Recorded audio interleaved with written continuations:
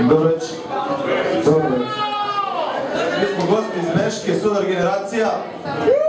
Sava je prošla. Hvala svima koji su putovali od Meške do Dobrić, sad su kod nas.